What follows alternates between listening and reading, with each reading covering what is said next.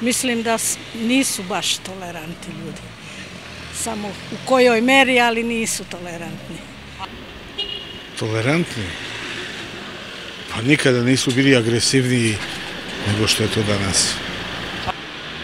Pa mislim da nisu, ali nije im ni zameriti.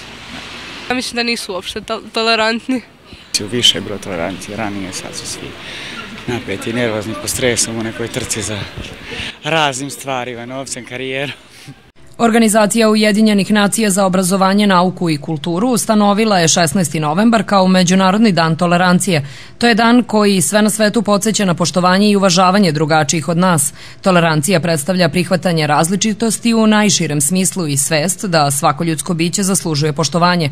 To nije izraz slabosti, popustljivosti, niti je negativna osobina, a značenje reči tolerancija je isto u svim jezicima i svim narodima.